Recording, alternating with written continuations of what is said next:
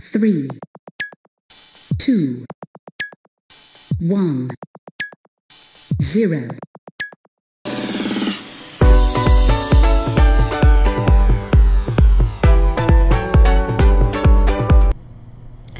Huyền Trâm xin thân mến kính chào quý khán giả của N10 TV. Thưa quý vị, hôm nay là ngày thứ hai, ngày mùng 1 tháng 3.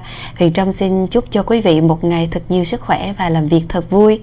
Và ngay sau đây Huyền Trâm mời quý vị cùng theo dõi một số tin đáng chú ý trong ngày hôm nay cùng có tin Hoa Kỳ, thế giới và Việt Nam. Và ngay bây giờ mời quý vị cùng theo dõi phần tin Hoa Kỳ. Tổng thống Joe Biden và Tổng thống Mexico đã thảo luận về vấn đề di cư.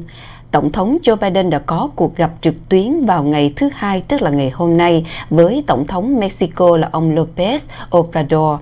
Cuộc họp này hai lãnh đạo đã thảo thuận đầy đủ hơn về các vấn đề di cư, cách mà đối phó với virus corona và hợp tác về các vấn đề kinh tế và an ninh quốc gia. Tổng thống Mexico nói ông sẽ dự định trong cuộc họp sẽ đề xuất với Tổng thống Joe Biden một chương trình lao động nhập cư theo kiểu Bracero mới có thể mang 600.000 cho đến 800.000 người nhập cư Mexico và Trung Mỹ mỗi năm đến làm việc hợp pháp tại Hoa Kỳ.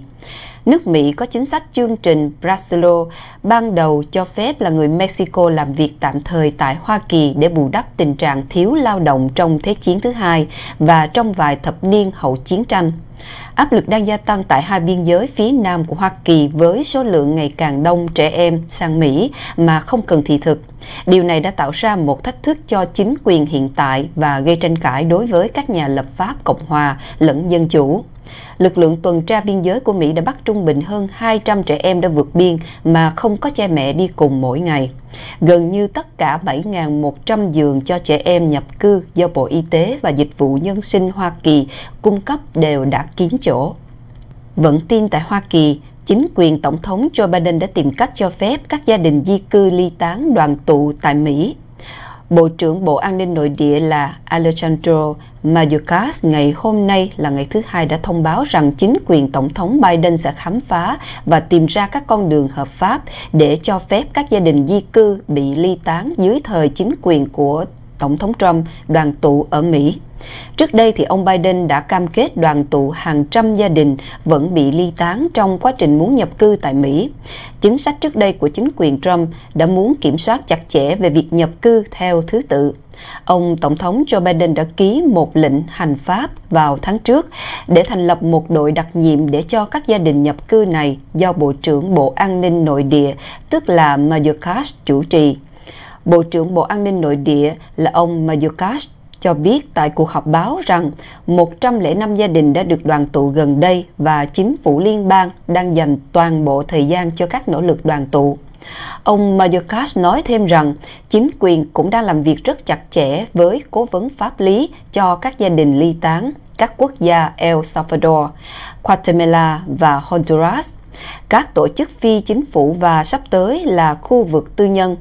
Ông Mayorkas kêu gọi những người di cư tiềm năng hãy chờ đợi trước khi đến Mỹ để tránh làm tăng thêm lượng tồn động nhập cư và lưu ý rằng chính quyền của ông Biden có nghĩa vụ là tiếp tục sử dụng chương trình y tế công cộng từ thời ông Trump để trục xuất những người di cư do coronavirus.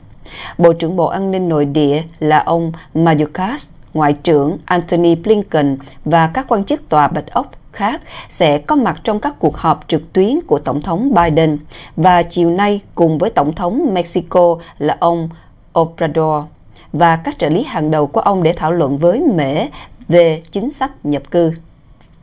Thưa quý vị, sau đây vẫn là tin Hoa Kỳ. Thượng nghị sĩ Elizabeth Warren giới thiệu dự luật thuế tài sản với những người siêu giàu là Thượng nghị sĩ Warren, là một thành viên mới của Ủy ban Tài chính Thượng viện từ lâu đã tìm cách tăng thuế đối với các triệu phú và tỷ phú ở Mỹ. Dự luật thuế sẽ đánh thuế 2% đối với những người có tài sản từ 50 triệu cho đến 1 tỷ đô la. Người nộp thuế có tài sản trị giá lên là 1 tỷ đô la sẽ phải chịu mức thuế là 3%. Thuế sẽ không áp dụng cho những người có giá trị tài sản dưới 50 triệu đô la. Thượng nghị sĩ Warren và các nhà tài trợ của dự luật ước tính rằng nó sẽ tăng 2.75 ngàn tỷ đô la thu nhập từ thuế trong khoảng thời gian là 10 năm. Thưa quý vị, cũng vẫn tại Hoa Kỳ thì cựu Tổng thống Trump đã khuyến khích dân Mỹ hãy tiêm vaccine coronavirus. Tổng thống Trump đã tuyên bố tại hội nghị cánh hữu, tức là CPAC 2021 trong bài phát biểu của ông vào ngày Chủ nhật, rằng tất cả mọi người nên tiêm vaccine coronavirus lần đầu tiên mà ông khuyến khích những người ủng hộ mình và những người nghi ngờ hơn về việc tiêm chích vaccine coronavirus. Cựu Tổng thống Trump và đệ nhất phu nhân Melania Trump đã được chích ngừa virus corona tại Tòa Bạch Ốc vào tháng Giêng vừa qua trước khi ông rời khỏi Tòa Bạch Ốc.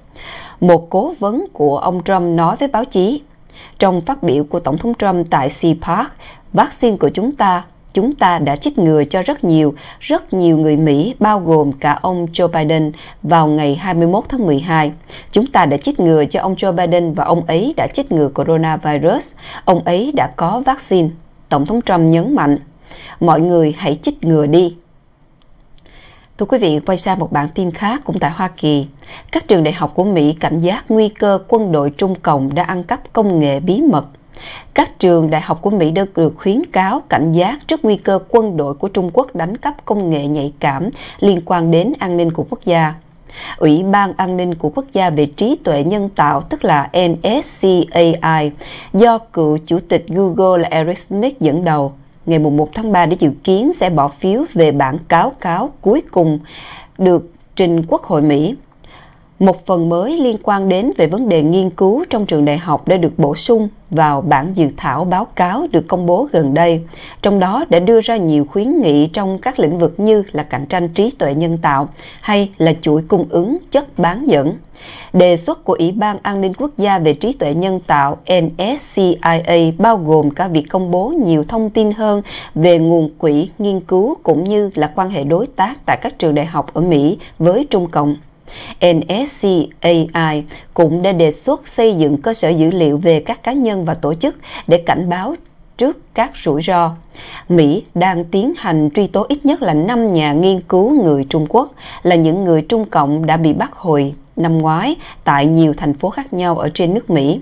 Bộ Tư pháp của Hoa Kỳ đã ra cáo trạng với cáo buộc gian lận thị thực vì họ đã khai báo gian dối là mối quan hệ với quân đội Trung Quốc và làm việc với quân đội nhà nước Trung Quốc. Thưa quý vị, trong khi đó thì Facebook bồi thường hơn nửa tỷ đô la vì thu thập gương mặt người dùng bất hợp pháp. Trong đơn kiện tập thể thì Facebook hơn 1.6 triệu người ở tiểu bang Illinois đã có buộc Facebook đã thu thập và lưu trữ dữ liệu sinh trắc học của người dùng mà không thông báo đến họ.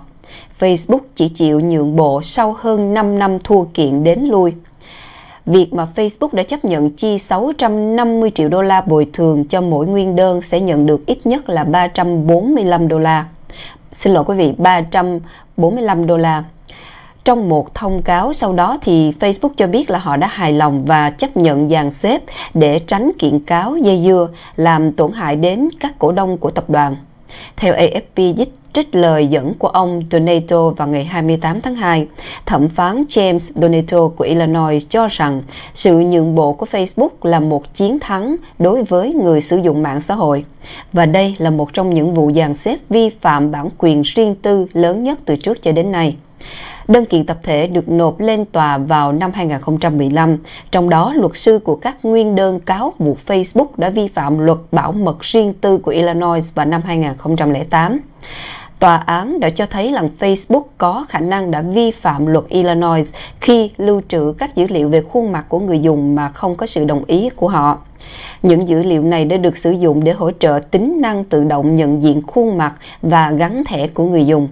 Facebook thoạt đầu đã bác bỏ những cáo buộc và thuê các luật sư để đấu tranh. Tuy nhiên thì lập luận của Facebook cho rằng 1.6 triệu người không thể dùng đứng chung đơn kiện đã bị tòa án bác bỏ vào năm 2018. Một năm sau đó thì Facebook đã điều chỉnh tự động nhận diện khuôn mặt thành một tính năng tùy chọn, cho phép người dùng có thể bật hoặc là tắt tính năng này. Vào cuối tháng 1 năm 2020 thì Facebook đã tuyên bố chỉ đồng ý trả 550 triệu đô la để bồi thường và yêu cầu nguyên đơn bãi nại. Xong, một thẩm phán liên bang đã tuyên bố số tiền như vậy là không đủ, buộc gã khổng lồ công nghệ phải tăng tiền. Thưa quý vị, Illinois là tiểu bang duy nhất ở Mỹ cho phép người dân được nộp đơn kiện các hành vi thu thập dữ liệu không có sự tán thành của chủ nhân. Không chỉ Facebook và nhiều công ty công nghệ khác cũng đã đối mặt với các đơn kiện ở Illinois.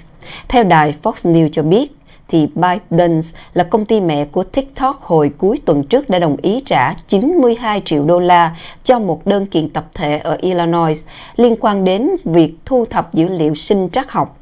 Thỏa thuận này thì vẫn còn chờ sự phê duyệt của một thẩm phán liên bang. Thưa quý vị, quay sang phần tin châu Âu. Ukraine bác bỏ vaccine coronavirus do các bác sĩ không chịu chích ngừa. Cấp nghị sĩ của Ukraine cho biết là các cơ sở y tế, bệnh viện tại Ukraine buộc phải quăng bỏ nhiều liều vaccine ngừa coronavirus khi đã chuẩn bị sẵn sàng bởi số đông bác sĩ đã không đến địa điểm chích vaccine như đã hẹn.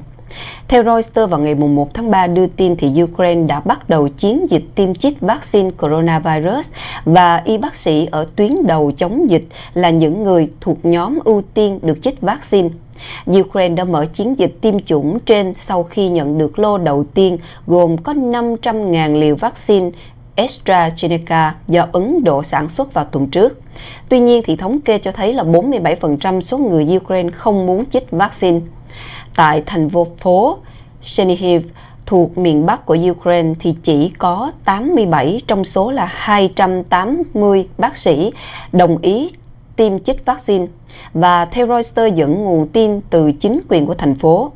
Ông Oleksandr Kornizenko là nghị sĩ thuộc đảng Phụng sự Nhân dân của Tổng thống Ukraine là ông Zelensky cho biết.